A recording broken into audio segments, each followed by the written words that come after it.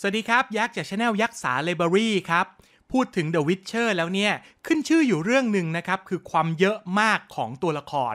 แถมในตัวซีรีส์เองเนี่ยเขายังไม่ค่อยเล่าให้เราฟังซะด้วยนะครับว่า ตัวละครแต่ละตัวที่ปรากฏตัวออกมาเนี่ยเป็นใครมาจากไหนบ้างให้เราไปตามเก็บในเนื้อเรื่องเอาเอง วันนี้ยักษ์สา Library จะมากางข้อมูลของตัวละครในซีรีส์ The Witcher เพื่อที่จะบอกเล่าให้คุณฟังว่า ตัวละครแต่ละตัวที่ปรากฏออกมาเนี่ยมันเป็นใครมาจากไหน โดยเราจะอิงข้อมูลจากในฉบับที่ปรากฏจากในซีรีส์ และในเว็บไซต์ witchernetflix.com ซึ่งเป็นเว็บไซต์อย่างเป็นทางการของ The Witcher ฉบับ Netflix เท่านั้นนะครับ สาเหตุที่เราจะไม่เอาข้อมูลจากนิยาย แล้วก็เกมมาใส่เอาไว้ด้วยเนี่ย เพราะว่ามันอาจจะสปอยเนื้อหาในซีซั่นถัดๆไปได้ แล้วก็อาจจะมีเนื้อหาบางอย่างที่มันไม่ตรงกันได้ เพราะว่าฉบับของซีรีส์อาจจะต้องนับเป็นอีกจักรวาลหนึ่งซึ่งอาจจะ ไม่เหมือนกับจักรวาลของเกมหรือว่านิยายซะทีเดียวนะครับขอออกตัวก่อนว่าข้อมูลที่จะพูดถึงเหล่านี้เป็นการ spoil เรื่องราวในซีซั่น1และซีซั่น2 ใครที่ยังไม่ได้ดูไปดูซีซั่น1และซีซั่น2 ก่อนจะสนุกกว่านะครับ โอเคครับท่านทั้งหลาย พร้อมจะไปฟังเรื่องราวเหล่านี้กันหรือยัง ถ้าพร้อมแล้วก็ล้อมวงเข้ามา ยักษ์สาจะเล่าให้ฟัง อันดับแรกนะครับเรามาว่าถึงเหล่ากษัตริย์ก่อน โดยกษัตริย์คนแรกที่จะพูดถึงนะครับ คือวิซิเมีย กษัตริย์แห่งเรดาเนียนะครับ เรดาเนียเป็นอาณาจักรหนึ่งที่อยู่ในทางแดนเหนือขึ้นไปของซินตรา แต่วิซิเมียและเรดาเนียเองไม่ได้เข้าร่วมการเป็นพันธมิตรกับอาณาจักรแดนเหนืออีก 5 อาณาจักร แต่เขามีความต้องการของเขาเองคือหมายมั่นปั้นมือที่จะได้อาณาจักรซินตราเอาไว้ ตัวของวิซิเมียร์กับที่ปรึกษาของเขา ก็เลยพยายามที่จะส่ง spy เข้าไปสืบค้นหาข้อมูลต่างๆ ในอาณาจักรซินตราที่ถูก ตอนนี้จักรวรรดินิฟการ์ดครอบครองเอาไว้ ขณะเดียวกันเนี่ยเขาได้ทราบข่าวคราวขององค์หญิงซิรี จึงมีความต้องการที่จะได้ตัวองค์หญิงซิรีไปไว้ในกำมือ เพราะว่าหากทางเรดาเนียได้องค์หญิงซิรีไป จะสามารถที่จะครอบครองอาณาจักรซินตราอย่างชอบธรรมได้นะครับเพราะว่าถ้าเขาสามารถที่จะบังคับให้องค์หญิงซิรี แต่งงานกับทางเรดาเนียได้เนี่ยเรดาเนียกับซินตราจะเป็นปึกแผ่นกัน แล้วก็นั่นจะทำให้วิซิเมีย สามารถที่จะครอบครองอาณาจักรซินตราได้ จึงทำให้เหล่าแดนเหนือทั้ง 5 อาณาจักรนะครับ มาร่วมมือกันเพราะว่าหากปล่อยให้เรดาเนียครอบครองซินตราได้ อาณาจักรเรดาเนียจะยิ่งใหญ่มาก และอาจจะนำภัยร้ายมาสู่อาณาจักรเหนือทั้ง 5 ที่เหลือได้นะครับ โดยอาณาจักรทั้ง 5 มาประชุมกันร่วมกับผู้วิเศษที่เซอาแล้วก็ลงมติกันว่า จะต้องการที่ล่าฆ่าหัวขององค์หญิงซิรี จะต้องฆ่าองค์หญิงซิรีให้ได้ ไม่ปล่อยให้ทางวิสเมียได้ไป โดยกษัตริย์ทั้ง 5 ที่มาประชุมกันในครั้งนี้นะครับหนึ่งก็คือเมฟนะครับราชินีของไลเรีย ไลเรียเป็นแคว้นเล็กๆนะครับแคว้นหนึ่งที่อยู่ในแดนเหนือ โดยถ้าเราจะจำกันได้ในเรื่องราวของเยนนิเฟอร์ในซีซั่นหนึ่ง ตอนที่เยนนิเฟอร์ทำภารกิจคุ้มครองราชินีแล้วก็ องค์หญิงที่เป็นทารกน้อย แต่ไม่สำเร็จถูกพ่อมดมือสังหารฆ่าไปเนี่ยคนที่จ้างมาก็คือกษัตริย์องค์ก่อนของไลเรีย เพราะว่าราชินีองค์เนี้ยไม่ว่าจะมีลูกด้วยกันสักกี่ครั้ง นางก็มีแต่ลูกสาวให้เขา เขาต้องการลูกชายก็เลยตัดสินใจที่จะฆ่าลูกฆ่าเมียตัวเอง แต่อนิจจาครับ คนดีจะไม่มีที่อยู่นะครับ แต่คนเลวก็ไม่ประสบความสำเร็จอยู่ดีครับ เพราะว่ากษัตริย์องค์นี้สิ้นพระชนไป โดยที่สุดท้ายแล้วก็ไม่มีลูกชายอยู่ดี และลูกสาวคนโตก็ได้ขึ้นมาครอบครองบัลลังก์ โดยลูกสาวคนโตที่ขึ้นมาครอบครองบัลลังก์ในครั้งนี้ ก็คือองค์ราชินีเมฟนั่นเองนะครับ เธอจึงเป็นราชินีเมฟแห่งไรเลีย โดยไลเรียเนี่ยเป็นอาณาจักรที่ไม่ค่อยใหญ่นะครับ เป็นอาณาจักรเล็กๆ ที่อยู่ทางแดนเหนือนั่นเอง คนต่อมานะครับ เขาคือราชาที่ชื่อว่าเฮนเซลท์แห่งอาณาจักรเคทเวนเคทเวนถือเป็นอาณาจักรที่ใหญ่อยู่พอสมควรนะครับ แล้วก็มีแคร์มอร์เฮนซึ่งเป็นสถานที่ที่เป็นฐานทัพของเหล่า witcher เนี่ยตั้งอยู่ โดยประวัติของเคทเวนนะครับในอดีตเนี่ยในรุ่นของราชาองค์ก่อนๆเนี่ยร้อยปีก่อนเกิดเหตุนะครับที่ทำให้ทางเคทเวนส่งทหารไปพร้อมกับผู้วิเศษเทตรา เพื่อโจมตีแคร์มอร์เฮนแล้วก็ทำลายเหล่า witcher ที่แคร์มอร์เฮนลงทั้งหมด รอดมาแค่ตัว witcher ที่เป็นเด็ก แล้วก็มี witcher ที่เป็นผู้ใหญ่รอดมาแค่ 1 คนเท่านั้นเอง โดยในตอนศึกซอดเดนฮิลนะครับ ที่เหล่าจอมเวทมีการรบกับนิฟการ์ดเนี่ยทางเคทเวนเนี่ยส่งกองทัพมาช่วย เป็นผลให้ทางผู้วิเศษเนี่ยได้รับชัยชนะ คนต่อมานะครับที่อยู่ใน 5 กษัตริย์ คนนี้เราจะเห็นหน้ามาตั้งแต่ซีซั่นแรกแล้วก็คือกษัตริย์ฟอร์เทสฟอร์เทสเป็นกษัตริย์แห่งเทมเรีย ซึ่งถือว่าเป็นแคว้นที่ค่อนข้างใหญ่นะครับ มีพื้นที่กว้างขวาง แล้วก็มีกำลังทหารที่ค่อนข้างเยอะ โดยประวัติของฟอร์เทสเนี่ย ในอดีตเขามีอะไรกันกับพี่น้องตัวเองนะครับ คือองค์หญิงแอดดา แล้วก็ทำให้เธอตั้งท้อง แต่ว่าตอนที่เธอตั้งท้องเนี่ยมีขุนนางคนหนึ่งที่หลงรักองค์หญิงแอดดาแล้วก็เจ็บแค้นที่ฟอร์เทสเนี่ยมีอะไรกับแอดดาจนแอดดาตั้งท้อง เขาก็เลยทำการสาบเด็กในท้องนะครับให้ออกมาเป็นปีศาจ striga แล้วก็ถูกเกรอลต์เนี่ยสามารถที่จะไปถอนคำสาปได้ โดยในศึกที่ซอดเดนฮิลนะครับ ทางเทมเรียก็เป็นอาณาจักรหนึ่งที่ส่งกองทัพมาช่วยรบนะครับ ร่วมกับกองทัพของเคทเวน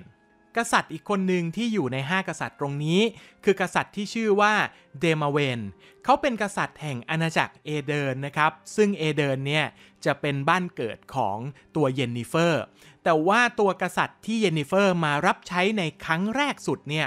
ไม่ใช่เดมาเวนนะครับ แต่ว่าเป็นพ่อของเขาที่ชื่อว่าวิฟูริล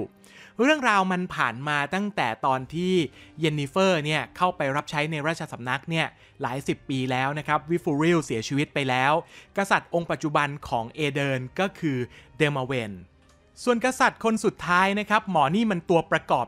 ชัดๆนะครับ เพราะว่าหาทั้งเรื่องแล้วไม่มีบทพูดเลย แถมไม่มีภาพ close up ด้วยนะครับ ก็คือกษัตริย์ที่ชื่อว่าอีเจนนะครับ เขาเป็นกษัตริย์ของอาณาจักรที่ชื่อว่าซิดาริส ซิดาริสเป็นอาณาจักรที่ไม่ใหญ่มาก โดยจะอยู่ทางชายฝั่งของมหาทวีปนะครับ ทางตอนเหนือของอาณาจักรซินตราขึ้นไป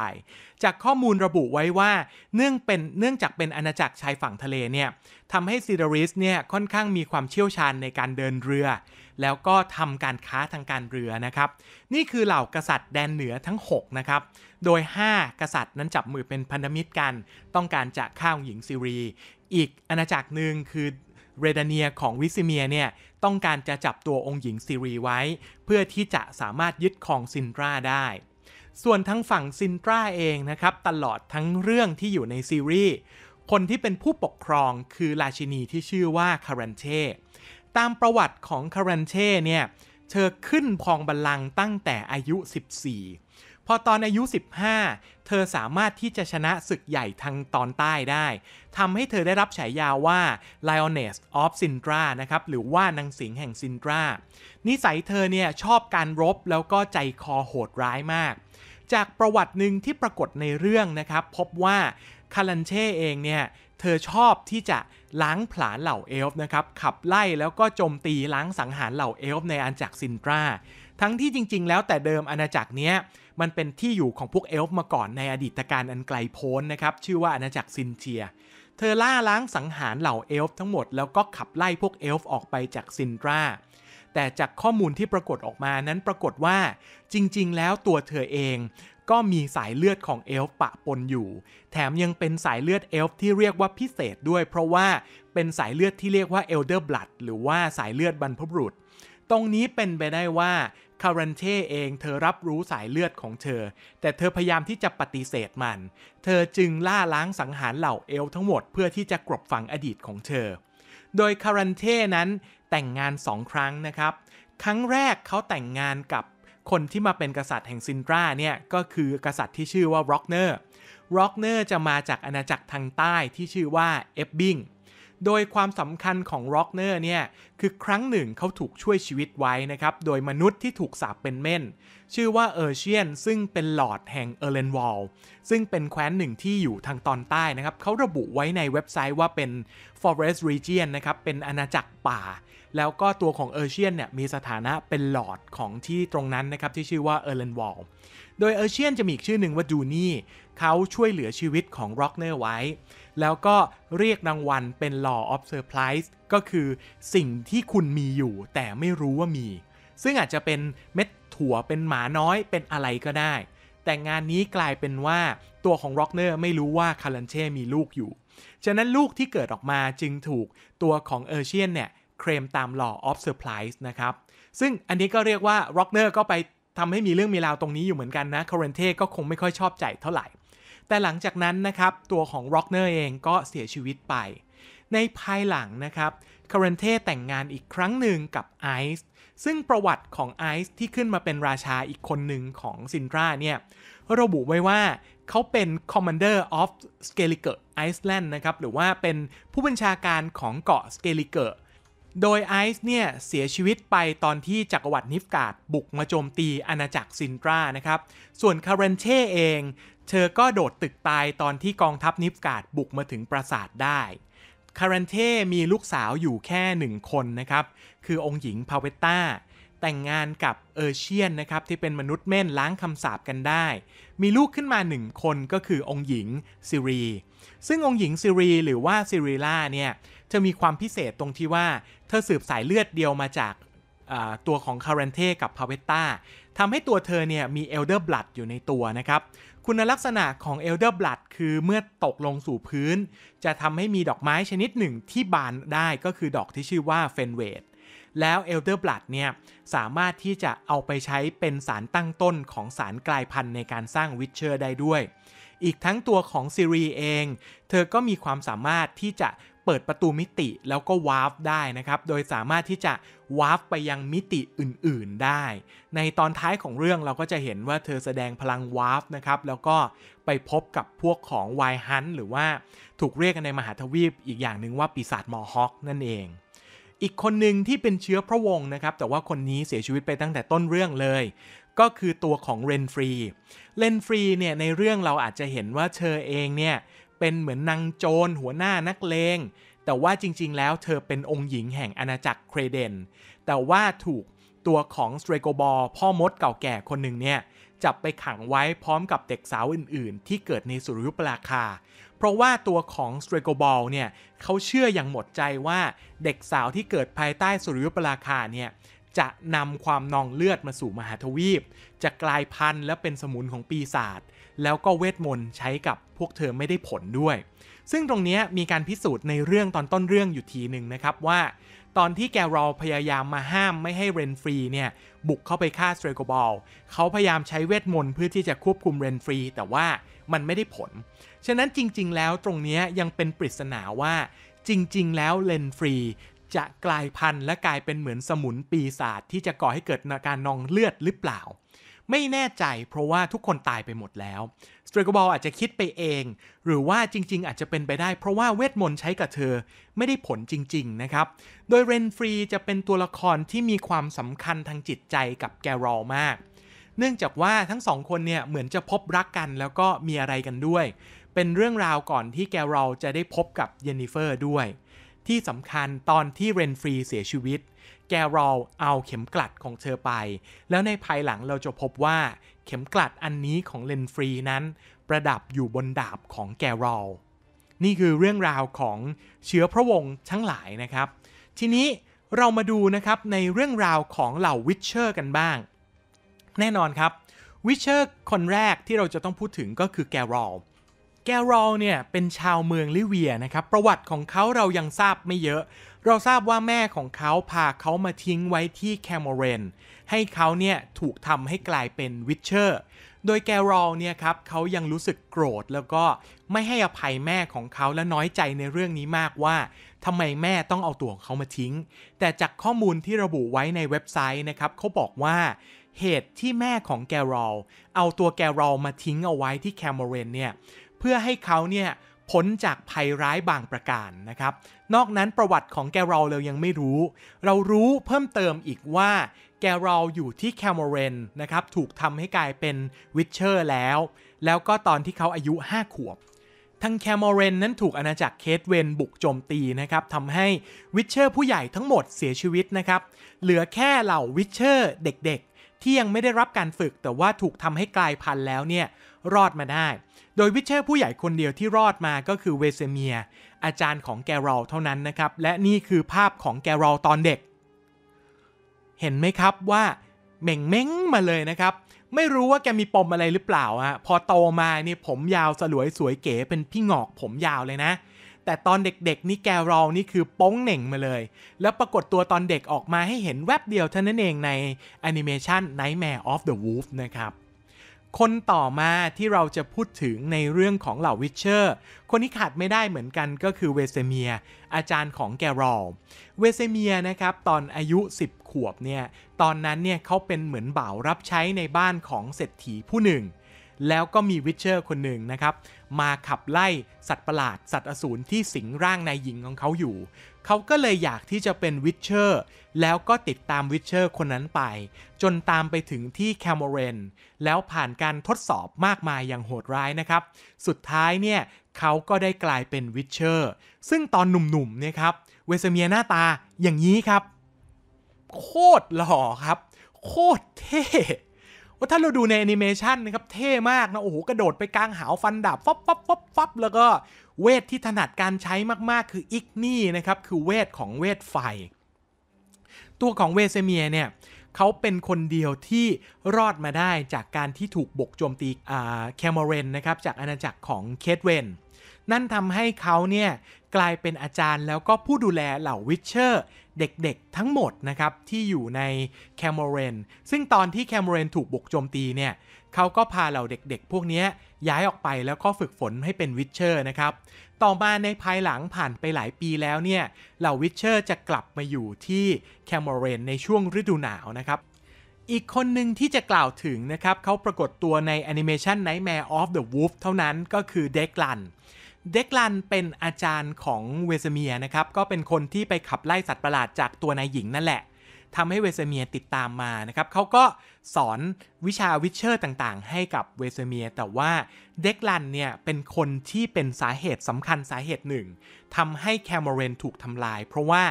เขาดันไปเพาะพันธุ์เหล่าสัตว์ประหลาดกลายพันธุ์ เหตุก็เนื่องมาจากว่าเขามองว่าสัตว์ประหลาดนั้นดีต่อธุรกิจ ถ้าหากว่าไม่มีสัตว์ประหลาด Witcher จะไม่มีงานทำแล้วก็จะไม่มีรายได้ แต่จากการที่ไปแอบเพาะพันธุ์สัตว์ประหลาดกลายพันธุ์พวกนี้ทำให้ทางเคทเวนทราบเรื่อง แล้วก็ผู้วิเศษเทตราเนี่ยไม่ชอบเหล่า Witcher อยู่แล้ว พยายามที่จะขับไล่ Witcher ออกไปอยู่แล้ว ก็เลยให้สาเหตุตรงนี้ทัพของเคทเวนกับผู้พิเศษเทรดทราก็เลยบุกมาโจมตีแคมเรน จากผลการโจมตีตรงนี้ผู้วิเศษเทตราเสียชีวิต ตัวเด็กลันเองก็เสียชีวิตนะครับ เหมือนที่เล่าไปเมื่อกี้ว่า มันรอดมาแค่เวสเมียเท่านั้นเอง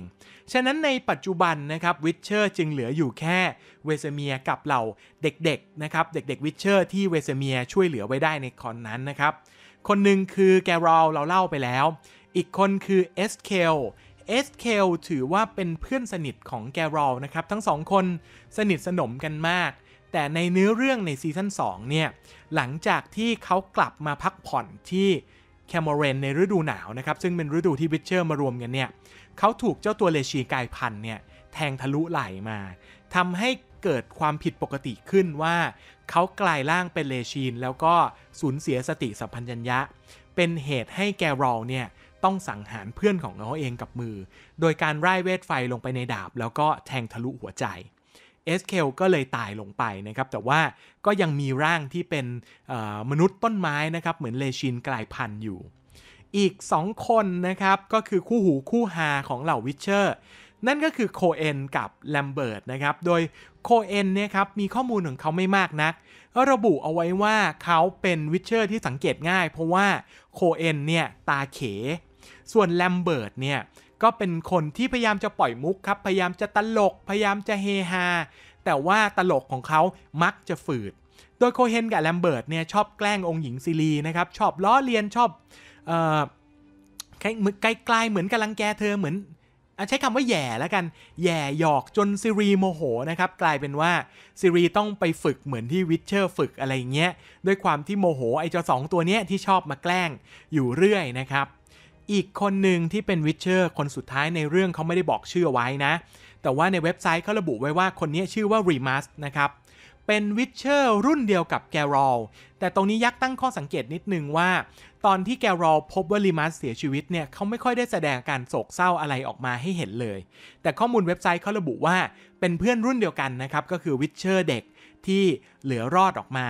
โดยระบุว่าตอนที่รีมัสนะครับไปที่เทเมเรีย แล้วก็รับงานที่จะไปปราบสัตว์ประหลาดเนี่ยเขาถูกสัตว์ประหลาดตัวนี้ก็คือสตรีก้าฆ่าตาย โดยในเว็บไซต์เขาระบุว่าจริง ๆ ไม่ใช่ว่ารีมัสเนี่ยไม่เก่งนะ แต่จากการเดินทางของเขาเนี่ยทำให้อุปกรณ์ในการรบต่างๆเนี่ยเหลืออยู่น้อยมากแล้วก็ไม่พร้อม อีกทั้งตัวของรีมัสเนี่ยขาดการเตรียมตัวที่ดี ก็เลยทำให้เขาเนี่ย ถูกเจ้าสัตว์ประหลาดสตรีก้าฆ่าตายแล้วก็จกเครื่องในไปกินนะครับ ส่วนต่อมานะครับคือเหล่าพ่อมดแม่มดต่างๆ ตรงนี้มีตัวละครเยอะพอสมควร คนแรกคือเยนนิเฟอร์ที่เป็นนางเอกของเรื่องนะครับ เยนนิเฟอร์เป็นชาวแวนเกอร์เบิร์ก อาศัยอยู่กับพ่อเลี้ยงแล้วก็แม่ของเธอ โดยที่ตัวของเยนนิเฟอร์เนี่ยเป็นลูกเสี้ยวเอลฟ์เพราะว่าพ่อแท้ๆของเธอเนี่ย เป็นลูกครึ่งระหว่างมนุษย์กับเอลฟ์ทำให้เธอมีสายเลือดของเอลฟ์อยู่ในตัวเนี่ยหใน 4 แต่ว่าเธอกลับเกิดมานะครับพิการหลังค่อมปูดโปนปากเบี้ยว แล้วก็ถูกพ่อเลี้ยงของเธอเนี่ยขายให้กับทิเซอา ซึ่งเป็นอาจารย์ของเหล่าผู้วิเศษไปในราคา 4 มาร์กซึ่งราคาตรงนี้ ถูกกว่าราคาหมู 1 ตัวซะอีก เพราะว่าหมูนั้นซื้อขายกันในราคา 10 มาร์กนะครับ หลังจากนั้นเยนนิเฟอร์ร่ำเรียนอยู่ที่อเรตทูซาแล้วก็มีฝีมือทางเวทมนต์เนี่ยแก่กล้าขึ้นมา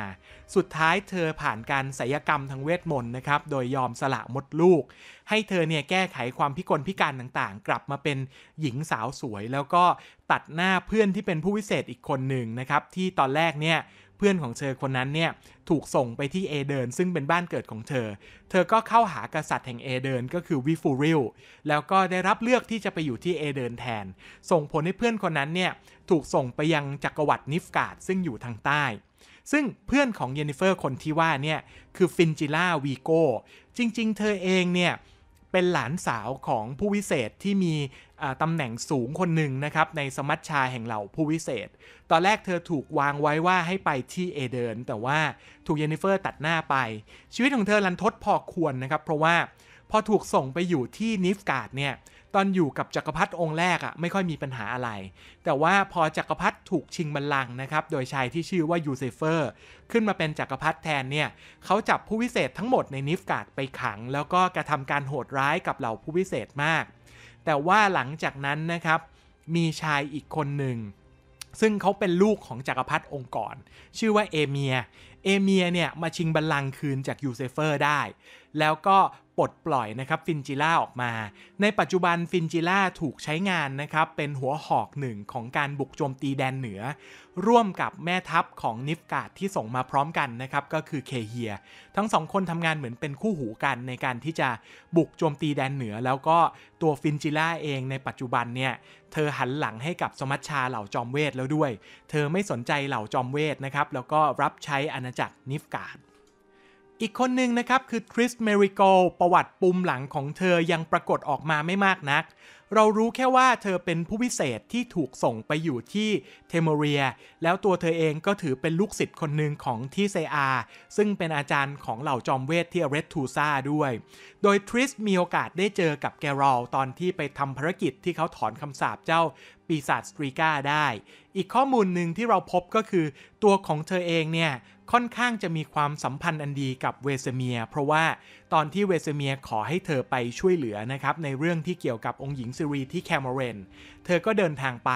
โดยทริสเนี่ยคาดการว่าเธอน่าจะหลงรักตัวของแกรอลอยู่เหมือนกัน เพราะว่าตอนที่อยู่ที่แคร์มอเรนเนี่ยเธอก็ร้องขอให้แกรอลหลับนอนกับเธอ แต่ว่าตัวเธอเองเนี่ยถูกแกรอลปฏิเสธนะครับผู้วิเศษคนต่อมาคืออิสตริด อีสตริดเป็นคนรักคนแรกของเยนนิเฟอร์ ตัวเขาเองเนี่ยพบรักกับเยนนิเฟอร์แล้วก็มีอะไรกันกับเยนนิเฟอร์ ตั้งแต่ตอนที่เธอยังเป็นหญิงสาวพิกลพิการปากเบี้ยวด้วย โดยอีสตริดถูกระบุนะครับว่าเป็นพ่อมดผู้วิเศษผู้เชี่ยวชาญในเรื่องกับโบราณในคดีต่างๆ อาจจะต้องบอกว่าเป็นนักโบราณในคดีในรูปแบบของผู้วิเศษก็ได้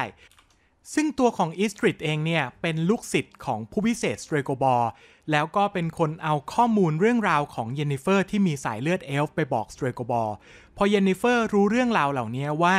คนที่เปิดเผยสายเลือดของเธอให้สเตรโกบอร์คืออีสตริดความสัมพันธ์ของทั้งสองคนเนี่ย เกิดรอยร้าวขึ้น ในช่วงท้ายของซีซั่น2อีสตริดมีความต้องการที่จะช่วยเหลือเหล่าเอลฟ์เพราะว่าถูกแดนเหนือกดขี่ข่มเหงแล้ว หลังจากที่เขารู้เรื่องราวสายเลือดของตัวองค์หญิงซิรี ก็เอาข้อมูลเหล่านี้ไปบอกกับเหล่าเอลฟ์แล้วในปัจจุบันตอนท้ายซีซั่น2อีสตริดได้ร่วมทางไปกับคณะของชาวเอลฟ์ทั้งหลายนะครับ เมื่อพูดถึงอิสตริดแล้วเนี่ยครับก็ต้องพูดถึงสเตรโกบอร์ซึ่งเป็นอาจารย์ของเขาสเตรโกบอร์ครับเป็นผู้วิเศษที่มีตำแหน่งสูงในสมัชชาของเหล่าผู้วิเศษ แล้วก็มีอายุอยู่มานานหลายร้อยปีแล้ว ตัวของสเตรโกบอร์ถูกระบุข้อมูลไว้นะครับว่าเป็น illusionist เป็นเจ้าแห่งมายา ตัวของเขาเองเนี่ยเป็นอาจารย์สอนเหล่าพ่อมดชายนะครับอยู่ที่บานอาร์ด ในซีรีส์เขาไม่ได้เล่านะครับว่ามีสถาบันสอนพ่อมดชาย แต่ว่าในเว็บไซต์ที่เขาระบุข้อมูลไว้รวมถึงในแผนที่ ซึ่งตรงนี้ก็จะตรงกับฉบับของนิยายด้วยว่า จริง ๆ แล้วผู้พิเศษหญิงชายเนี่ยเรียนแยกกัน ผู้พิเศษหญิงเรียนที่อเรตูซามีอาจารย์ก็คือทิเซอา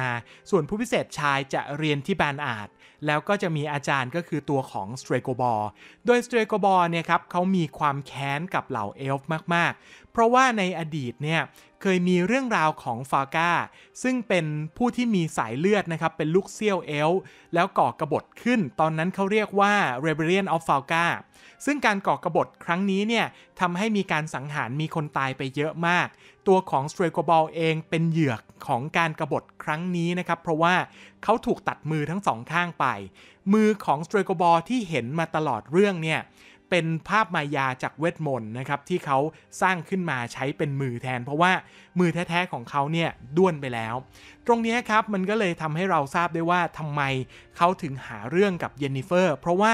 ตัวเขาเองเนี่ยเกลียดชังเหล่าเอลฟ์แล้วตัวของเยนนิเฟอร์เองก็มีสายเลือดของเอลฟ์อยู่ ซึ่งตัวของสเตรโกบอลนะครับเขาจะคานอำนาจกับเหล่าผู้วิเศษต่างๆ ที่อยู่ในสมัชชาผู้วิเศษ เพราะว่ามันถูกแบ่งออกเป็น 2 ฝั่งใหญ่ ๆ อีกคนหนึ่งที่อยู่ฝั่งเดียวแล้วก็คอยสนับสนุนสเตรโกบอลอยู่เนี่ย ก็คืออาร์โทเรสวีโกอาร์โทเรสวีโกคนนี้ เป็นลุงของฟินจิล่าวีโก้นะครับเขาเนี่ยก็พยายามจะใช้เส้นสายของเขาเนี่ยช่วยเหลือหลานสาว แต่กลายเป็นว่าพอหลานสาวเขาไปอยู่กับนิฟกาดแล้วเนี่ยหลานสาวก็หันหลังให้กับสมัชชาของผู้วิเศษ ข้อมูลของอาร์โทเรียสมีไม่มากนักนะครับเราก็จะรู้แค่ว่าเป็นลุงของฟินจิล่าแล้วก็เป็นผู้ที่อยู่ข้างเดียวกับสเตรโกบอลแล้วก็สนับสนุนเส้นทางทางอำนาจของสเตรโกบอลอยู่ ซึ่งสองคนนี้จะคานอำนาจอยู่กับอีก 2 คน นั่นก็คือคนแรกคือทิเซอาทิเซอาก็มีข้อมูลไม่เยอะนะครับ พยายามหาแล้วไม่เจอ เรารู้แค่ว่าเธอเป็น อาจารย์ของเหล่าผู้วิเศษหญิงที่เรียนอยู่ที่อเรตูซา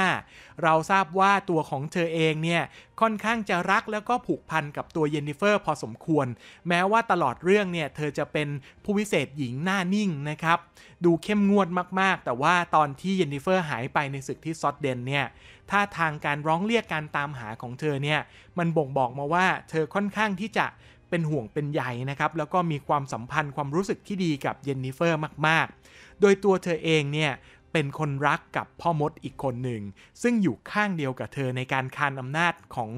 ตัวของสเตรโกบอลกับตัวอาร์โทเรียสคนคนนี้ก็คือพ่อมดที่ชื่อว่าวิลกฟอร์ดเขาบอกว่าวิลกฟอร์ดเนี่ยครับเป็นพ่อมดที่อาจจะเรียกได้ว่าเป็น battle mage ก็ได้ เพราะว่า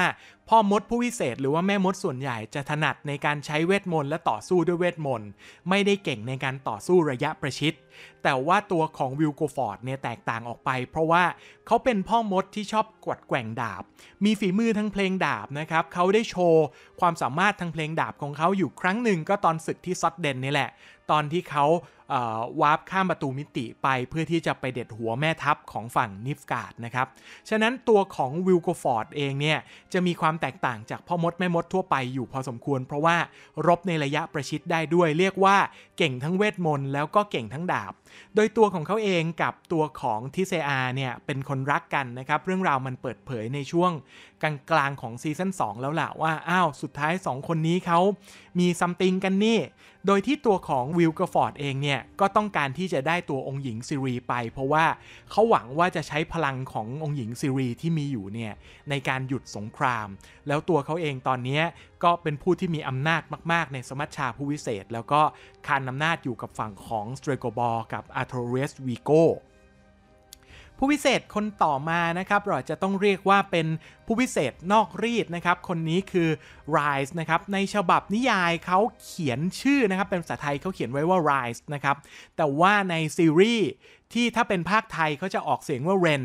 แต่ว่าชื่อจริง ๆ มันจะอยู่กึ่งๆ ระหว่าง Rise กับ Ren นะครับ คนนี้ออกเสียงยาก อาจจะต้องออกเสียงว่า Runs อะไรอย่างนี้นะ ยักษ์อาจจะออกเสียงไม่ถูกเหมือนกันนะครับ เขาถูกจัดว่าเป็นพ่อมดนอกรีด เพราะว่าปกติแล้วนะครับ Law of Magic จะมีเวทต้องห้ามที่หลักๆอยู่ 2 สายก็คือ 1 คือเวทไฟ ห้ามนะครับ ซึ่ง Rise เนี่ยมันใช้เวทไฟ อีกเวทหนึ่งที่เป็นเวทต้องห้ามเหมือนกัน คือเวท necromancer หรือว่าเมเวทคืนชีพ เวทควบคุมศพต่างๆ พวกนี้นะครับ ถือว่าเป็นเวทต้องห้าม Rise เนี่ยใช้เวทไฟออกมาโดยไม่แคร์อะไรเลยแบ็กกราวด์ประวัติของเขายังไม่ชัดเจน เรารู้แค่ว่าเขาเป็นผู้วิเศษที่ใช้ไฟ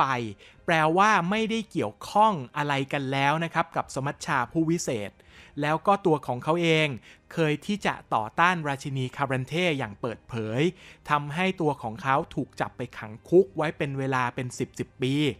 ถูกปล่อยออกมานะครับ โดยผู้วิเศษหญิงคนหนึ่งซึ่งมีการว่าจ้างมาอย่างไม่ชัดเจน แลกอิสระของไรส์กับการให้เขาเนี่ยไปจับตัวองค์หญิงซิรีให้ได้ ซึ่งเขายอมทำแต่โดยดี เพราะว่าเขามีความแค้นกับคารันเทฉะนั้นลูกหลานของคารันเทเขาก็มองว่าเป็นศัตรู จะต้องตามตัวองค์หญิงซิรีเนี่ยมาให้ได้นะครับ ซึ่งในปัจจุบันเนี่ยเรายังไม่ทราบว่าผู้ว่าจ้างของไรส์ให้เขาออกไปจับตัวองค์หญิงซิรีเนี่ยเป็นใคร ส่วนคนที่ถูกว่าจ้างมาอีกทีนึงแล้วก็ปล่อยไรส์ออกมานะครับเขาให้ข้อมูลว่าคนนี้ไม่ใช่คนธรรมดา เป็นผู้วิเศษแต่ว่าเรายังไม่เห็นลักษณะการใช้พลังแล้วก็เวทมนต์ของเธอ เธอคนนี้ชื่อว่าลิเดีย ข้อมูลของลิเดียในปัจจุบันยังเป็นปริศนาอยู่ อีกคนหนึ่งนะครับ เป็นตัวละครที่ปริศนาเหมือนกัน แล้วก็เปิดเผยออกมาตอนท้ายเรื่อง คนนี้ชื่อว่าฟิลิปปาเอลฮาร์ดนะครับ เธอเป็นผู้วิเศษที่สามารถจะแปลงร่างเป็นนกเขาแมวได้ เธอเนี่ยปัจจุบันเนี่ยรับใช้นะครับอาณาจักรเรดาเนียอยู่ แล้วก็เราไม่เห็นเธอไปปรากฏตัวแล้วก็เกี่ยวข้องอะไรกับ ทางฝั่งของสมัชชาผู้วิเศษเลย จากข้อมูลของฟิลิปปาเราจะทราบแค่ว่า เธอเป็นผู้วิเศษที่ทรงพลังอยู่พอสมควร เพราะว่าเธอเป็น shapeshifter ก็คือคนที่สามารถที่จะแปลงร่างเป็นสัตว์ได้ ซึ่งยังไม่เห็นความสามารถนี้นะครับ ในตลอดทั้ง 2 ซีซั่นเนี่ย จากผู้พิเศษคนอื่นๆ จากข้อมูลในเว็บไซต์เขาระบุว่า เธออาจจะไม่ใช่ผู้รับใช้นะครับ ของตัวที่ปรึกษาของอาณาจักรเรดเนีย ก็คือเจ้าดิกสตราเนี่ยอย่างชัดเจน แต่ว่าเธออาจจะมีจุดมุ่งหมายส่วนตัวบางอย่าง โดยในปัจจุบันเนี้ย จุดมุ่งหมายของเธอกับดิกสตราเนี่ยอาจจะตรงกัน แต่เธออาจจะไม่ใช่ค่ารับใช้ผู้ซื่อสัตย์ก็ได้ ข้อมูลของตัวฟิลิปป้ายังมีอยู่แค่นี้นะครับ เพราะว่าเธอปรากฏตัวออกมาแค่ฉากเดียวตอนท้ายซีซั่น2 เท่านั้นเอง สุดท้ายนะครับผู้วิเศษคนนี้ ถือว่าเป็นผู้วิเศษที่พิเศษมากๆนะครับ เธอชื่อว่าวิเซนาวิเซนาเป็นแม่ของแกรอลครับ วิเซนาปรากฏตัวออกมาเพียงครั้งเดียวนะครับ ในนิมิตของแกรอลตอนที่เขาถูกกูลทำร้ายบาดเจ็บสาหัส เท่านั้นนะครับ ตรงนี้ยังไม่ทราบว่าสิ่งที่แกรอลเห็นเป็นแค่นิมิต หรือจริง ๆ แล้วเธอมาช่วยเหลือแกรอลเพราะว่าพอแกรอลฟื้นขึ้นมาเนี่ยบาดแผลของเขาเนี่ยก็ทุเลาลงไปมากนะครับ จากตอนแรกที่ถูกกูลกัดแล้วก็เจ็บปางตาย โดยความพิเศษของวิเซนาอยู่ตรงที่ว่าส่วนใหญ่แล้วนะครับ อาจจะต้องใช้คำว่า 99.9%ก็ได้ ผู้วิเศษนั้นเป็นหมัน ไม่ว่าเขาจะยอมสละมดลูกเพื่อไปทำการศัลยกรรมให้สวยขึ้นหรือเปล่า แม้กระทั่งผู้วิเศษชายเองก็ตาม จากการใช้พลังของเคออสจะส่งผลให้ร่างกายของเขาเป็นหมัน ฉะนั้นแล้ววิเซนาจึงถือเป็นเคสพิเศษ เพราะว่าเธอสามารถมีลูกได้ และลูกของเธอก็คือแกรอลจึงทำให้แกรอลจริง ๆ แล้วอาจจะมีสายเลือดที่พิเศษอะไรบางประการอยู่ก็ได้ ตรงนี้ในซีรีส์ยังไม่เปิดเผยนะครับ เรารู้แค่ว่าเธอเป็นแม่ของแกรอลและเอาแกรอลไปทิ้งไว้ที่แคมโมเรนด้วยเหตุผลว่า มันมีภัยร้ายบางอย่างที่ติดตามมาก็เลยเอาลูกไปทิ้งไว้ ปัจจุบันวิเซนาเป็นตายร้ายดียังไง ยังไม่รู้ รู้เพียงอย่างเดียวว่า เธอดันพิเศษตรงที่ว่าเป็นผู้วิเศษที่มีลูกได้ ในอนาคตวิเซนาอาจจะปรากฏตัวออกมาก็ได้ ตรงนี้ยังไม่รู้อาจจะต้องรอดูในซีซั่นถัดๆไปนะครับถัดจากเหล่าผู้วิเศษแล้วนะ เรามาดูเรื่องราวของเหล่าเอลฟ์กันบ้าง เอลฟ์คนแรกที่จะพูดถึงนะครับเขาเป็นอดีตราชาของเหล่าเอลฟ์ชื่อว่าฟิลาเวนเดลฟิลาเวนเดลปรากฏตัวขึ้นมาตั้งแต่ในแอนิเมชัน Nightmare of the Wolf โดยการมาให้คำปรึกษากับตัวของเวสเมียอาจารย์ของแกรอลเมื่อยังหนุ่ม ตอนที่เขาเจอกับสัตว์ประหลาดนะครับกลายพันธุ์แล้วสัตว์ประหลาดเหล่านั้น ดันพูดภาษาโบราณได้ เขาเอาเรื่องนี้มาปรึกษากับฟิลาเวนเดล ตอนนั้นยังไม่ได้เกิดเหตุการณ์ The Great Cleansing ที่เป็นการกวาดล้างเอลฟ์ครั้งใหญ่นะครับ แต่ว่าหลังจากเหตุการณ์ใน Nightmare of the Wolf แล้วเนี่ย เกิดเหตุการณ์ Great Cleansing ขึ้น แล้วก็มีการล่าล้างสังหารเหล่าเอลฟ์โดยซินตรานะครับทำให้ตัวของฟิลาเวนเดลต้องพาเหล่าเอลฟ์เนี่ยหนีไปอยู่ ณ สุดขอบตะวันออก ที่เรียกว่า Edge of the World หรือว่าสุดขอบโลก เขาอาศัยอยู่ตรงนั้นอย่างแร้นแค้น แล้วก็มีโอกาสที่ได้เจอกับแกรอลตอนที่ถูกว่าจ้างให้มาจัดการกับสัตว์ประหลาดที่ขโมยเมล็ดพันธุ์เมล็ดพืช ตอนนั้นเป็นตอนที่แกรอลพบกับแจสเคียครั้งแรก ตอนนั้นเนี่ยเหล่าเอลฟ์ที่จับตัวแกรอลได้เนี่ยก็คือลูกน้องของฟิลาเวนเดลนั่นแหละ แล้วฟิลาเวนเดลก็ปรากฏตัวออกมาพูดคุยกับแกรอลจนสุดท้ายเนี่ยเขาก็ปล่อยตัวแกรอลไป หลังจากนั้นฟิลาเวนเดลมาปรากฏตัวอีกครั้งหนึ่ง ตอนที่จับตัวฟินจิล่ากับเยนนิเฟอร์ได้ในซีซั่น2นะครับช่วงต้น ตอนนั้นเขาเป็นแค่อดีตราชาไปแล้ว เพราะว่าหลังจากที่ถูกขับไล่ไปอยู่ตรงที่ Edge of the World แล้วเนี่ย เหล่าเอลฟ์เนี่ยเขาเลือกผู้นำคนใหม่ ซึ่งผู้นำคนใหม่คนนี้คือฟรานเชสกาฟรานเชสกานะครับ เธอก็เป็นผู้วิเศษหญิงที่เป็นเอลฟ์ ซึ่งในปัจจุบันเนี่ยผู้วิเศษที่เป็นเอลฟ์เหลือน้อยมาก เยนนิเฟอร์กับฟินจิล่าถึงกับประหลาดใจว่าไม่เคยรู้มาก่อนว่ายังมีผู้วิเศษนะครับของเอลฟ์หลงเหลืออยู่ คนหนึ่งที่ยังอยู่ก็คือฟานเชสกานี่แหละ เธอเป็นผู้นำของเหล่าเอลฟ์ในตอนปัจจุบัน มีความมุ่งหมายอยากจะให้กำเนิดทารกเอลมาก เพราะว่าทารกเอลเลือดแท้เนี่ยไม่ถือกำเนิดมานานมากๆแล้ว แต่ว่าพอกำเนิดทารกเอลออกมาเนี่ยก็ถูกลอบสังหาร ในปัจจุบันในซีรีส์นะครับฟันเชสกา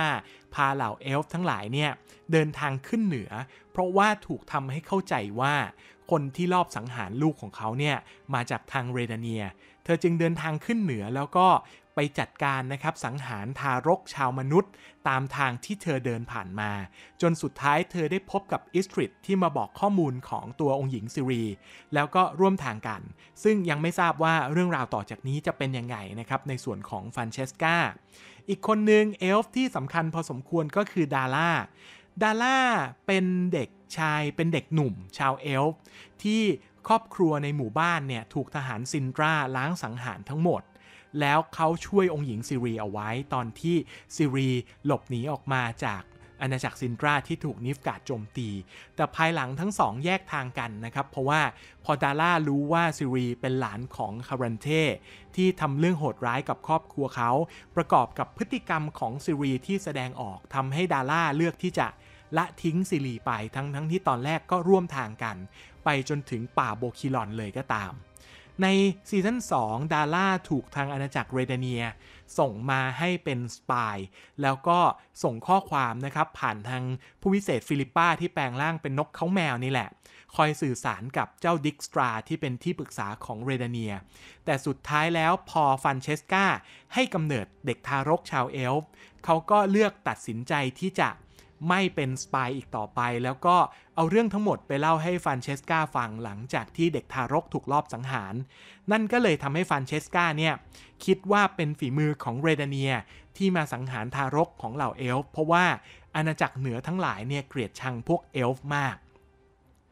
อีกคนหนึ่งนะครับที่เป็นตัวของเหล่าเอลฟ์เนี่ย แต่ว่าจริง ๆ แล้วตัวจริงเขาไม่ได้ปรากฏออกมา เพราะว่าจากข้อมูลคือเธอเสียชีวิตไปแล้วก็คืออิทิลีน อิทิลีนเนี่ยครับจริงๆแล้วเธอเป็นผู้พยากรณ์ของเหล่าเอลฟ์ที่พยากรณ์ถึงเรื่องของยุคของดาบและขวาน โลกจะต้องล่มสลายแล้วเกิดใหม่เอลฟ์จะกลับมารุ่งเรืองอีกครั้งหนึ่ง แต่ตัวอิทิลีนจริงๆ ไม่ได้ปรากฏในซีรีส์นะครับที่เราเห็นในซีรีส์ทั้งหมดคือตัวของแม่มดโวเลทเมียร์ที่แปลงร่างเป็นอิทิลีน แล้วก็มาคุยกับฟรานเชสกาในนิมิตนะครับ แต่ว่าประวัติของอิทิลีนมีอยู่ประมาณนี้ อีกคนหนึ่งแม้ว่าจะเป็นลูกเสี้ยวเอลฟ์แต่ว่านับเป็นเอลฟ์ด้วยแล้วกันก็คือฟาลกา ฟาลกานะครับมีข้อมูลไม่มากนัก รู้ว่าเธอเนี่ยเป็นลูกเสี้ยวเอลฟ์รูปของเธอจริง ๆ ในซีรีส์ยังไม่เห็นเลยเราเห็นแต่ว่าเป็นร่างมายาที่เป็นร่างไฟที่ว่าวิลโกฟอร์ดสร้างขึ้น เพื่อสอนประวัติศาสตร์ให้กับพวกลูกศิษย์ผู้วิเศษทั้งหลายของเขาเนี่ย เรารู้แค่ว่าฟาลกาก่อกระบฏขึ้นนะครับ เพราะว่าเธอเนี่ยมีสายเลือดของเชื้อพระวงศ์แต่ว่าแม่ของเธอเนี่ยเป็นลูกครึ่งเอลฟ์แล้วเธอเนี่ย ก่อกระบฏขึ้น แล้วก็ทำการโหดร้ายฆ่าผู้คนมากๆ ซึ่งจริง ๆ ตรงนี้อาจจะบอกว่าเฮ้ยเธอดูโหดร้ายนะ เธอฆ่าคนไปเยอะ นองเลือดไปเยอะแล้วก็ตัดมือสเตรโกบอลด้วย แต่จริง ๆ แล้วเนี่ยมันก็เป็นการกระทำรุนแรงกับทั้งสองฝ่ายนั่นแหละ เพราะว่ามนุษย์เองก็กระทำการรุนแรงกับเหล่าเอลฟ์มาก ๆ นะครับ ตรงนี้ยังไม่มีข้อมูลของฟาลกาออกมามากนัก ส่วนเอลฟ์คนสุดท้ายเนี่ยคือลาร่าดอเรน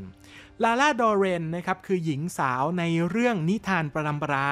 ที่นิเวเลนเล่าให้ซิรีฟังตอนที่ไปพักที่บ้านของนิเวเลนแล้วก็เป็นคนที่กอดทารกนั่งอยู่ท่ามกลางทุ่งแฟนเวดในการเข้าไปในความทรงจำขององค์หญิงซิรีผ่านพิธีโดดูซาที่ตัวที่ทริสเมริโกเป็นคนสร้างไว้ ตัวคนที่บีบคอทริสนะครับในตอนที่เข้าไปในความทรงจำกับ ตัวขององค์หญิงซิรีนั่นแหละ โดยจากข้อมูลเขาระบุว่าลาร่าดอเรนเนี่ยเป็นเอลฟ์ที่ถูกสร้างขึ้น เพื่อใช้เป็นเอลฟ์นักรบเป็นอาวุธของผู้วิเศษเอลฟ์เมื่อครั้งอดีตนะครับ แต่ว่าตัวเธอเองเนี่ย ดันไปพบรักกับมนุษย์และมีลูกด้วยกัน เรื่องราวจบลงแบบเป็นโศกนาฏกรรม เพราะว่าลาล่าดอเรนนั้นเสียชีวิตอยู่ท่ามกลางทุ่งเฟนเวด แต่ว่าตัวเด็กที่เป็นลูกของเธอเนี่ยที่เป็นลูกครึ่งมนุษย์กับเอลฟ์เนี่ยรอดชีวิตไปได้ แล้วจากข้อมูลทั้งหมดที่บ่งชี้ในเรื่องก็บอกว่า เด็กที่รอดชีวิตไปเนี่ยอาจจะเป็นต้นตระกูลของทั้งคาร์เรนเทพาเวตตาหรือองค์หญิงซิรีก็ตาม เพราะว่าในตัวของลาร่าดอเรนเนี่ยมี Elder Blood นะครับซึ่งเป็นสายเลือดบรรพบุรุษเนี่ยอยู่ซึ่งก็มาจากการสร้างของเหล่าผู้วิเศษเอลฟ์นั่นแหละ แล้วสายเลือดนั้นก็ตกทอดไปที่ลูกของเธอ แล้วก็คงตกทอดอยู่ในราชวงศ์ของซินตรานี่แหละ จนมาถึงตัวของคาร์เรนเทพาเวตตาแล้วก็องค์หญิงซิรี อันนี้คือเรื่องราวของเหล่าเอลฟ์เฉพาะที่เป็นตัวละครสำคัญสำคัญนะครับ อย่างตัวที่เห็นในนิมิตอย่างเดียวเนี่ยก็คือลาร่าดอเรนถัดมานะครับเรามาพูดถึงคนแคระบ้าง ในเรื่อง มีคนแคระปรากฏให้เห็นไม่เยอะนะครับ ตัวที่พอมีบทอยู่บ้างก็คือยาเพน and the gang นะครับกับพรรคพวกของเขาเนี่ยข้อมูลยาเพนมีไม่เยอะรู้แต่ว่าเขาก็เป็นเหมือนนักล่าฆ่าหัวที่ว่าไปล่าสิ่งนั้นสิ่งนี้ตามคำบัญชาของกษัตริย์ แต่ว่าก็มีโอกาสได้สร้างความสัมพันธ์อันดีกับแกรอลทำให้เขาเนี่ยพบกับแกรอลแล้วก็ปฏิบัติภารกิจที่ไปล่ามังกรด้วยกัน หลังจากนั้นก็พบกับแกรอลอีกครั้งหนึ่ง ตอนที่มาขอให้ไปช่วยนะครับ ติดตามตัวของซิรีกับเยนนิเฟอร์ที่ติดตามตัวของซิรีที่ถูกเยนนิเฟอร์พาตัวไปนะครับ แล้วก็ไปสู้กับทหารนิฟกาดที่นอกเมืองซินตราเนี่ยนอกนั้นข้อมูลของยาเพนยังไม่มีออกมานะครับ ว่าเป็นใครมาจากไหนแล้วจะมีบทต่อๆไปอีกหรือเปล่า อีกคนหนึ่งอาจจะต้องเล่าเป็นในลักษณะเรื่องของเผ่าพันธุ์ก็คือ พวกของนางไม้หรือว่าไรแยตนะครับ พวกนี้จะอาศัยอยู่ในป่าโบคิลอน มีผู้นำก็คือเอตเน่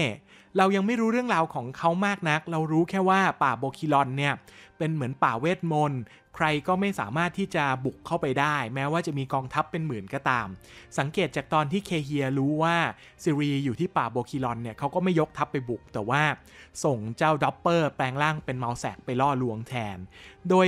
ใจกลางของป่าโบคิลอนเนี่ยมันก็จะมีน้ำออกจากต้นไม้ที่ให้องค์หญิงซิรีดื่ม แล้วก็เห็นนิมิตบางประการ ซึ่งตรงเนี้ยข้อมูลโบคิลอนยังมีไม่เยอะนะครับ เอาไว้โอกาสหน้าถ้าเกิดว่ามันมีซีซั่นถัดๆไปแล้วว่า มีอะไรที่เกี่ยวกับโบคิลอนอีกเนี่ยอาจจะมาเล่าให้ฟังอีกครั้งหนึ่งแล้วกันนะครับ ก็รู้แต่ว่าโบคิลอนเนี่ยมีนางไม้อาศัยอยู่ แล้วก็เอตเน่เป็นผู้นำของเหล่านางไม้พวกนั้น ส่วนสุดท้ายนะครับ เรามาว่ากันถึงเหล่าผู้ช่วยทั้งหลายนะ คนแรกนะครับเขาคือจูเลียนอัลเฟรดแพนครัสแพนครอสแพนครูสไม่แน่ใจอ่านยังไงนะ เพราะว่ามันอาจจะคงจะต้องอ่านว่าแพนครัดแหละ แต่ว่ามันมีตัวตัว Z นะตัว C เข้ามาด้วย เลยไม่แน่ใจออกเสียงยังไง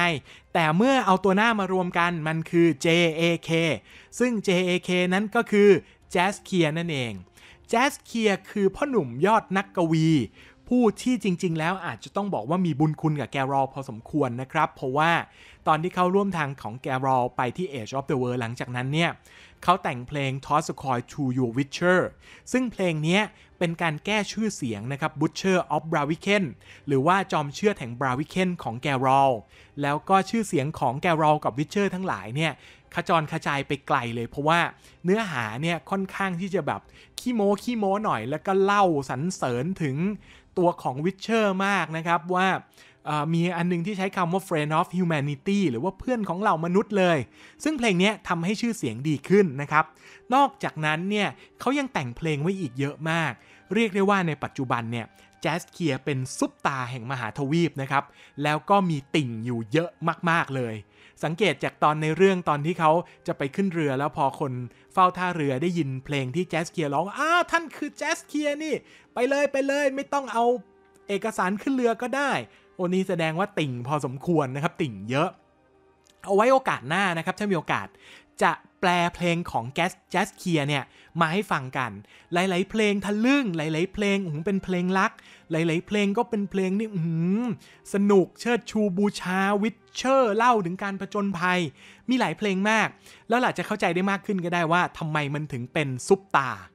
ประวัติของแจ๊สเคียนะครับเรารู้ว่าเขาน่าจะเป็นลูกคนมีกระตังพอสมควร เพราะว่าแจ๊สเคียเรียนจบจากออกเซนเฟิร์ดนะครับซึ่งถือว่า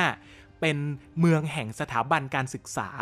ออกเซนเฟิร์ดก็คือที่ที่แจสเคียมันมันมันร้องเพลงอยู่ แล้วก็เจอเยนนิเฟอร์หลังจากนั้นก็ช่วยเยนนิเฟอร์เอลฟ์แล้วก็เคเฮียให้หนีขึ้นเรือนั่นแหละ ตรงนั้นเนี่ยคือออกเซนเฟิร์ดนะครับ ซึ่งถือว่าคนที่เรียนที่ออกเซนเฟิร์ดเนี่ยก็จะต้องพอมีกระตังนิดนึง เป็นคนมีการศึกษา อีกอย่างหนึ่งก็ดูการแต่งตัวของแจสเคียครับคนจนไม่แต่งตัวแบบนี้แน่ๆนะครับ เพราะว่าพี่แกแต่งตัวเวอร์ตลอดนะครับ ข้อมูลประวัติของแจสเคียมากกว่านี้ยังไม่พบนะครับ ก็พบว่าเป็นลูกคนรวยการศึกษาสูง แต่ว่ามาเป็นกวีพเนจรได้ยังไงเนี่ยอันนี้เรายังไม่ทราบ อีกคนหนึ่งนะครับที่เรียกว่าเป็นผู้ช่วยเหมือนกันแต่อันนี้ผู้ช่วยฝ่ายร้ายนะครับ นั่นก็คือดิกสตราเจ้าโล้นคนนี้เป็นผู้ช่วยนะครับเป็นที่ปรึกษาของกษัตริย์วิสเมียแห่งอาณาจักร เรเดเนีย แล้วก็เป็นคนคอยชักใยกษัตริย์ เขาระบุว่าตัวของดิกสตราเป็นคนที่ฉลาดแล้วก็มีอำนาจมาก ๆ แถมตัวของเจ้าดิกสตราเองเนี่ย ก็จบจากออกเซนเฟิร์ดเหมือนกัน อาจจะเรียกว่าเป็นสิทธิพี่ติดน้องกันกับแจสเคียเลยแหละ แต่ว่าเคยเจอกันหรือเปล่าเนี่ย อันนี้ยังไม่รู้นะครับ แล้วก็ข้อมูลของเจ้าโลนเนี่ย ก็คงจะต้องรอดูซีซั่นถัดไปว่า มันจะร้ายได้ถึงขั้นไหนนะ แต่ในซีซั่นนี้เราก็เห็นแล้วว่า โอ้ฆ่าคนไม่กระพริบตาเหมือนกันนะ ผู้ช่วยคนต่อมานะครับ คนนี้ใช้เวทมนต์ได้ แต่ว่าไม่ถูกนับเป็นเมจหรือว่าเป็นพ่อมดแม่มดนะครับ แต่ว่าเธอเป็นนักบวชมากกว่าก็คือเนเนเก้เป็นผู้นำของนักบวชแห่งวิหารเมลิเทเล ตัวเธอเนี่ยเป็นเหมือนอาจารย์คนหนึ่งของแกรอลแล้วเขาระบุว่า มีความสัมพันธ์กับแกรอลผูกพันกันเนี่ยจน ผูกพันกันเหมือนจะเป็นแม่คนที่ 2 เลยก็ว่าได้นี่คือเนเนเก้ในอดีตเนี่ยแกรอลก็เคยมาเรียนเวทมนต์นะครับ เรียนวิชาต่างๆที่เมลิเทเล แล้วก็เรียนกับตัวของเนเนเก้นี่แหละ โดยเหล่านักบวชของเมลิเทเล จะมีความสามารถสูงมากในเรื่องของทางการแพทย์ อีกคนหนึ่งนะครับ ใช้เวทมนต์ได้เหมือนกันอีกแล้ว แต่ไม่นับเป็นผู้วิเศษอีกแล้วก็คือเมาแซกเมาแซกนะครับเรียกว่าเป็น ผู้ใช้เวทมนต์ของราชวงศ์ของอาณาจักรซินตรา แต่ตัวเขาเองถูกระบุข้อมูลไว้ว่าเป็น druidไม่ได้เป็น mage จริงๆ เขาบอกว่า druid กับ mage เนี่ยหรือว่าพวกผู้วิเศษพ่อมดแม่มดเนี่ยใกล้เคียงกันมาก ใช้เวทมนต์ได้เหมือนกัน แต่ว่า druid จะมีความผูกพันเกี่ยวข้อง แล้วก็มีความรู้เกี่ยวกับเวทมนต์และเกี่ยวกับเรื่องของธรรมชาติค่อนข้างมาก เรายังไม่เห็นเวทมนต์ของเมาแซกเยอะนักนะครับเขาก็ตายไปซะก่อน เราเห็นแค่ว่าเมาแซกเนี่ยกางอาณาเขตกาง barrier ปกป้องราชวังของซินตราเอาไว้ โดยประวัติของเมาแซกเนี่ยบอกว่าเขาเป็นชาวเกาะสเกลิเกอร์เหมือนกับตัวของไอซ์นะครับ แล้วก็ย้ายมาอยู่ที่ซินตรา หลังจากนั้นก็ทำหน้าที่เหมือนกับเป็นผู้วิเศษประจำอาณาจักรซินตรา เนี่ยจะเป็นสาเหตุหนึ่งนะครับที่ซินตราเนี่ย มันก็ไม่ได้รับความช่วยเหลืออะไรจากสมัชชาของเหล่าผู้วิเศษตอนที่ซินตราถูกบุก เพราะว่าซินตราเองก็ปิดกั้นเหล่าผู้วิเศษจากทางฝั่งเรทูซาหรือว่าบานอาดนะครับ แต่ว่าเขาไปใช้บริการของ druid ก็คือตัวของเมาแซกแทนนั่นเอง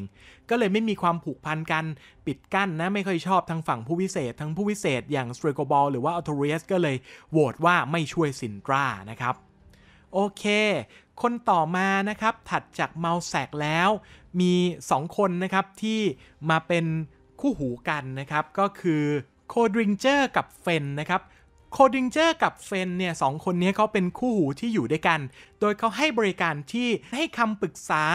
นะครับทางข้อมูลทางกฎหมายต่างๆ โดย 2 คนนี้เรียกว่าเป็นคลังข้อมูลเป็นผู้ที่มีความรู้มีข่าวสารข้อมูลเยอะมาก concept ของ 2 คนนี้ก็คือ information is power ข้อมูลข่าวสารคือพลังนะครับ เพราะว่าตัวของอิสตริดเองเนี่ยตอนที่สงสัยในสายเลือดขององค์หญิงซิรีเนี่ยเขาก็พยายามที่จะไปหาว่าสายเลือดขององค์หญิงซิรีเนี่ยมันเป็นยังไงมายังไง เขาก็เลยไปใช้บริการของโคดิงเจอร์กับเฟนส์เนี่ยสองคนนี้ก็ทำการที่จะศึกษาข้อมูลร่วมกันนะครับกับอีสตริดจนทำให้สุดท้ายก็พบว่าตัวของคาลันเธ่เนี่ยน่าจะสืบสายเลือดมาจากลาราดอเรนทำให้มี Elder Blood อยู่ในตัวนะครับนี่คือความสำคัญของสองคนนี้โคดิงเจอร์กับเฟนส์นะครับเรียกว่าเป็นแหล่งข้อมูลข่าวสาร ถ้ามีกระตังเนี่ยก็สามารถไปซื้อข้อมูลข่าวสารไปใช้บริการของเขาได้ โดยเขาจะเก่งทั้งเรื่องของข้อมูลให้คำปรึกษาแล้วก็เรื่องทางกฎหมายนะครับ โอเค คนสุดท้ายนะครับที่เก็บไว้จริง ๆ เป็นเชื้อพระวงศ์แต่ว่าทำไมต้องมาเล่าให้ตอนสุดท้ายนะครับ เนื่องจากว่าคนคนนี้นะครับถ้าเล่าไปอาจจะ spoil ได้ นั่นก็คือเรื่องของจักรพรรดิเอเมียวาร์ เอมเรย์จักรพรรดิแห่งนิฟกาดนะครับ ถ้าดูจนจบซีซั่น2 เราจะพบว่า เออร์เชียนหรือดูนี่ที่เป็นมนุษย์เม่นที่ถูกสาบ แล้วก็แต่งงานกับพาเวตตาเป็นพ่อของซิรี ในเรื่องเขาเล่าว่าพาเวตตากับเออร์เชียนออกเรือไปแล้วไม่ได้กลับมาอีกเลย แต่สุดท้ายกลายเป็นว่า ตัวของเจ้ากษัตริย์เอเมียเนี่ยปรากฏตัวอีกทีตอนท้ายซีซั่น2 แล้วกลายเป็นว่า เขาคือคนคนเดียวกับเออร์เชียน ซึ่งก็เป็นพ่อขององค์หญิงซิรี แต่เขามาเป็นกษัตริย์ของนิฟกาดนะครับเป็นจักรพรรดิแห่งนิฟกาดได้ยังไง ในซีรีส์ยังไม่ได้เล่า